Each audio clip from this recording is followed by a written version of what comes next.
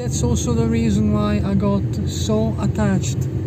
to the mountains when I was a child because for some reason that I cannot consciously put together some there must have been a passage in my mind somewhere that said being in the mountains being with nature and maybe also to an extent being with the weather is a way to steer away from that wound is a way to self-medicate to put it in different terms even though I don't particularly like that expression because it sounds medical and it sounds a bit cold. But just a way to feel better let's put it that way